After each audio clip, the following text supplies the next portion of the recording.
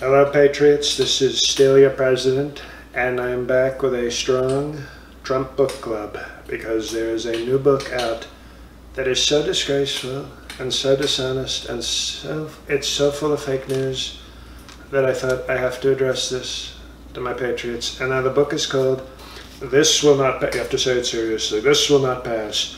Trump, Biden, whoever the hell that is, and the battle for America's future by Jonathan Martin and Alexander Burns, the two captains of fake news at the failing New York Times.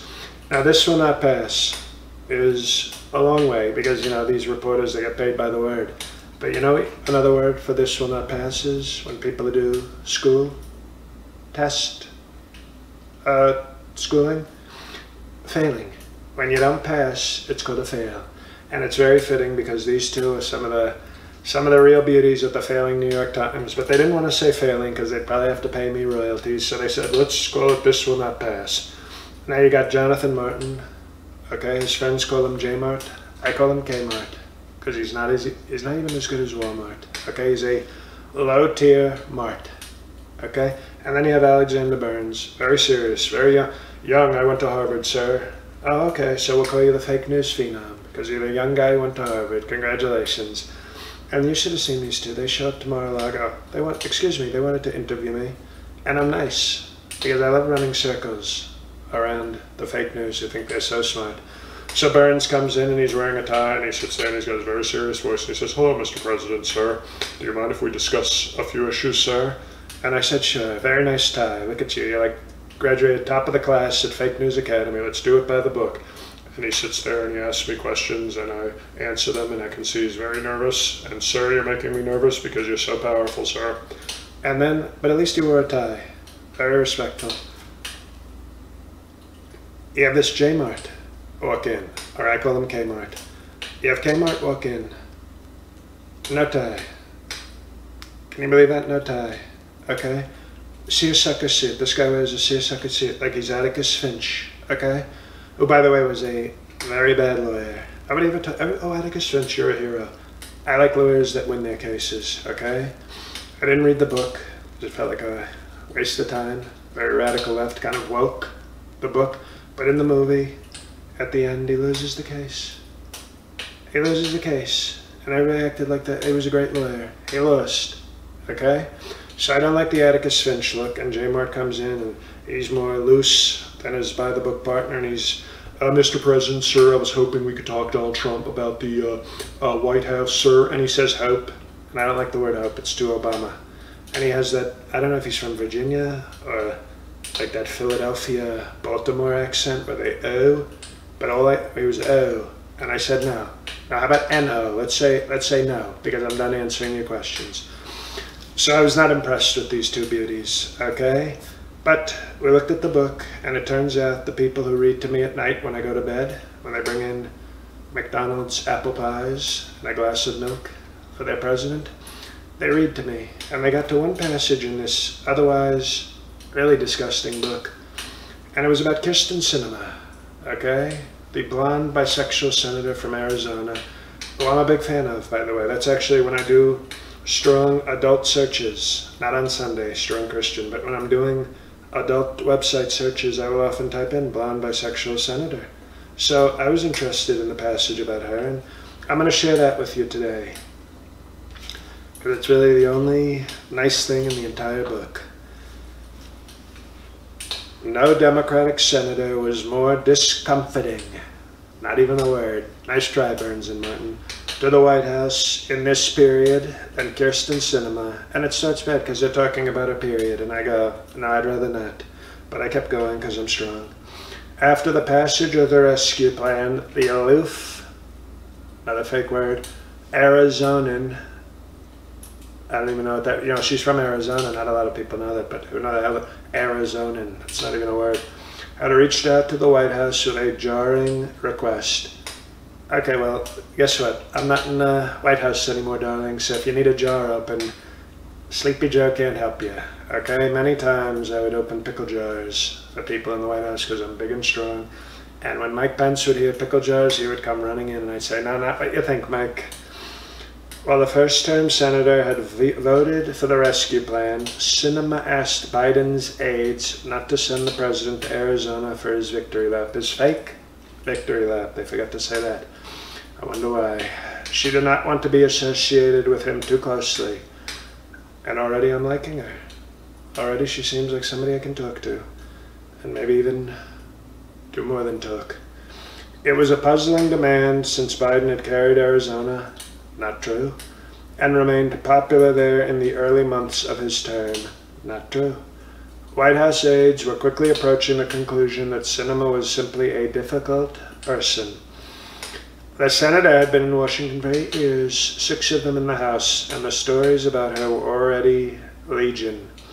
A former Green Party activist who had reinvented herself as a Fortune 500 loving moderate.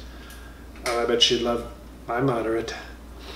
Uh, Sinema had bewildered her colleagues in Congress long before she flummoxed the Biden White House. Oh, flummoxed. I think that meant something else. I think that's a typo. But I, I can tell you this I wouldn't mind flummoxing Kyrsten Sinema. One House Democrat with ties to Biden still marveled about an early interaction with Sinema.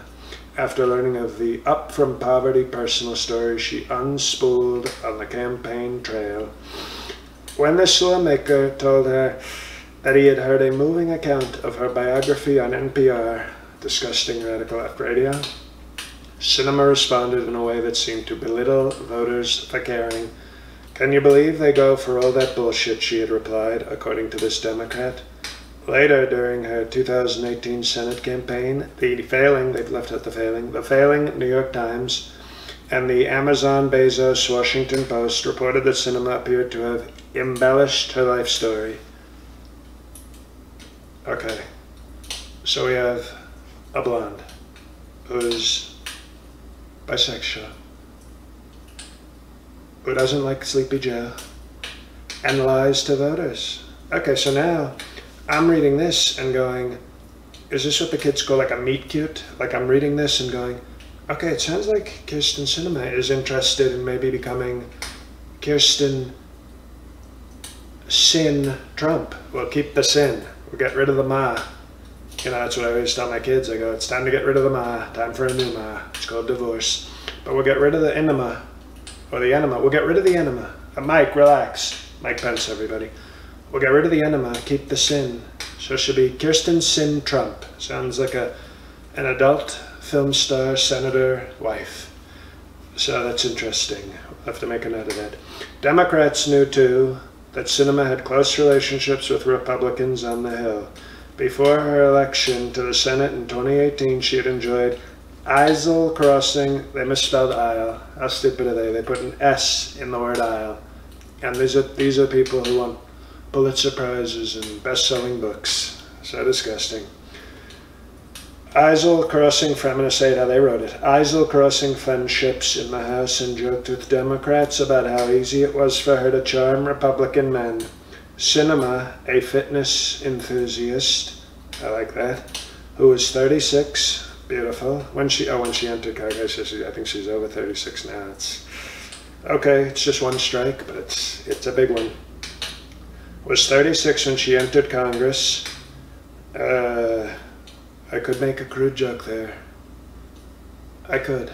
We're to be nice because I'm a Christian. Boasted knowingly to colleagues and aides that her cleavage had an extraordinary persuasive effect on the uptight men of the GOP. She told one House Republican that while she would never switch parties, her father would be delighted if she did. So we have a blonde bisexual senator who doesn't like Sleepy Joe, lies to voters, loves showing off her cleavage to the you know the RINOs and the weak Repu- you know it's not gonna I mean it's gonna work on me but I'm not gonna you know I think she's met her match but I'm interested in seeing it. So I like this. This is the one page the one bit of quality news in a book otherwise dedicated to total fakeness it's yeah. So Kevin McCarthy is a weakling. Yes, I know that. I've I've dealt with him many times. Oh, Mitch McConnell is a big ugly turtle who hates me. I guess what? the next time I see Mitch McConnell, I'm gonna turn him on his shell, and they can they can attack his soft chins because they'll go. "Oh, Mr. Please turn me over. I'm on my shell. Help me, sir. Help me. And I'm gonna say, no.